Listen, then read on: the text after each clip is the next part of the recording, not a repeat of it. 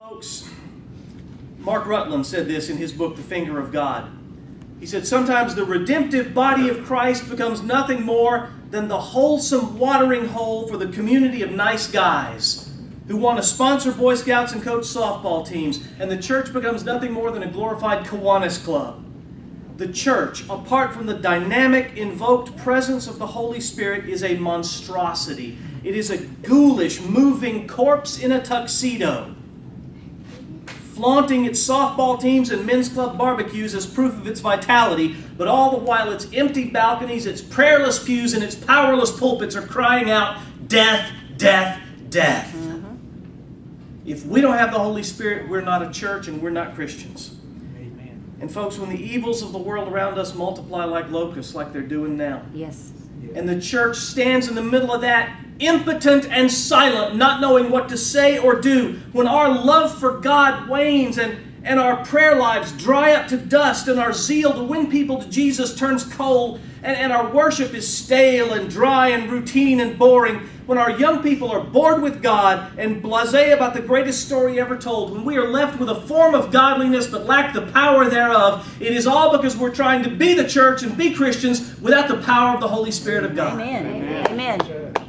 Dr. David Seamands once said, There's no more pitiful sight in the whole world than a half filled Christian trying to overflow. Mm-hmm. we need the fullness of the Holy Spirit. During a Rose Bowl parade, many do they still broadcast the Rose Bowl parades? I don't even know. When I was a kid, that was a big deal. That all those floats with all those flowers on them, and this one float comes sailing across Colorado Avenue, and it slows to a stop, and it's one of these big, big monsters afloat, and the crowd watched with amusement as a hatch popped open in the back and a man jumped out with a gas can and went running down the street. And, and they laughed even harder when the announcer came over the PA system and said that the float represented the Standard Oil Company. and millions of gallons of gas at their disposal, but they ran empty on national TV. Folks, if the church seems to have no power, have we run out of, of power? Or is it that the power is right there for the taking, but we're not plugged in? That's right. We haven't reached out in prayer. We haven't allowed the Holy Spirit to fill our hearts. Here's the story. On that first day of Pentecost, Acts chapter 2, Peter stood up and preached, and 3,000 people joined the church and got baptized. That's a good day in the church. Amen. Friendship would take a day like that, wouldn't it? Amen. Yeah. I mean, you'd have to knock out all kinds of walls to fit right. in Help all us. the people as God. So they felt the burning fire of God's Spirit in their souls. It was so much joy that day. But then Peter and John get arrested by the same group of guys who engineered Jesus' death just weeks before. Mm-hmm. Now, folks, I don't know if you've ever been personally threatened with crucifixion, but that'll wake you up in a hurry. Amen. That's scary stuff. They honestly thought, we're all going to die.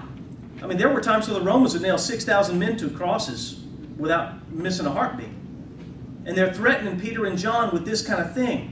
And they go back to the church. Now, listen, imagine if Pastor Mark or somebody else came back and said, Church, we're in trouble. We're being persecuted. We're being threatened. What are we going to do? What did they do? They prayed. Right. And after they finished the prayer, the room shook. And they were all filled with the Holy Spirit. And I want you to recognize, my friends, it was not deep pockets that carried the church through that hour. It was not well connected political friends they had that carried them through that hour. It was not the eloquence of highly trained preachers that carried them through that hour. It was the power of the Holy Spirit in answer to the prayers of God's people that Amen. carried the church through that dark hour. Amen. Mm-mm-mm. Amen. It's not an option, is it? Nope. It's not the Holy Spirit, the filling of the, the Holy Spirit is the, the living, breathing Spirit of Jesus Christ. It is Him come back to be with His church. It's not optional. We have to have the Holy Spirit. All right, the second lesson I learned from this passage is that when God pours out His Spirit, and when God empowers you as an individual or empowers His church, He does it for His purposes, not mine. Yeah. That's right. Now, folks, I want you to stay with me on this because we're being sold a bill of goods by a lot of TV and radio preachers right now. Amen. Who preach Jesus like a bunch of snake oil salesmen selling ointment. They say, Oh, my friends, and I apologize to the videographer, I, I got to wander a bit. Stay with me. oh, my friends, are you tired? Are you weary and are you worried? Just buy a little bottle here of Jesus Christ. He'll meet all of your needs and you'll be rich and happy and well to do and you'll have that car you want and that girl you want. It'll all be yours for $1.99. Just send it in right now. Now, folks, I want to be careful here.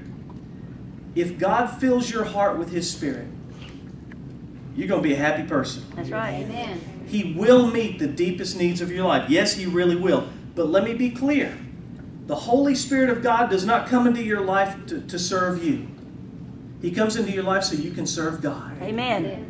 Not to fulfill your agenda and your wish list, but so you can start fulfilling God's agenda and God's wish list. Amen. He will transform your life in ways you never even imagined. And yes, you'll be you'll be filled with a joy that's deep and nothing can take away. But folks, you're going to become a player in God's agenda. I want you to look at what the power of the Spirit comes and does in the book of Acts.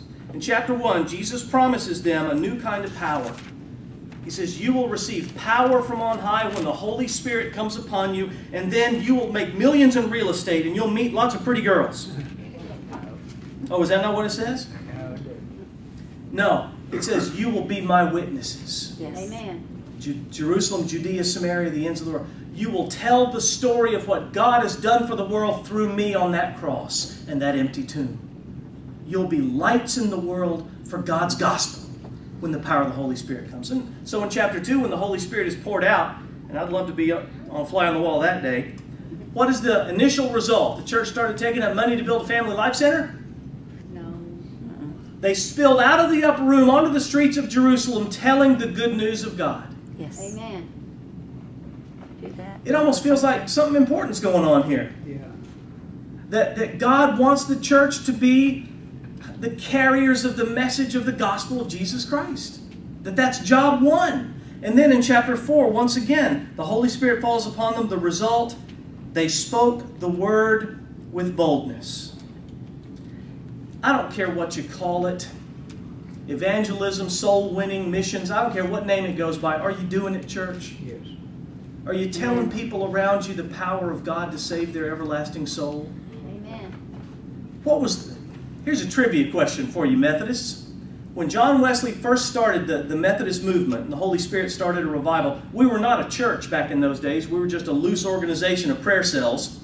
But there was one condition to become a Methodist. Who, who can tell me what it was? I don't have a prize to give away, sorry. What was the one condition to be a Methodist back in the day? Not, not prayer. A desire to flee from the wrath to come. Brother, if you're scared of hellfire, come around here and pray with me. Let's get together and work on this thing. Now, I'm not so sure we still believe in hell anymore. And if we don't believe souls are lost, it's not all that important that God find them. But if souls are lost, if we're surrounded by men and women and children whose eternal destiny is at stake, that is a call high enough to challenge my life and yours. Amen. And that's what the Holy Spirit comes to do, to empower us for that. Somebody used to criticize old Dwight Moody for his evangelistic methods years ago. They said, Brother Moody, I don't like the way you do soul winning.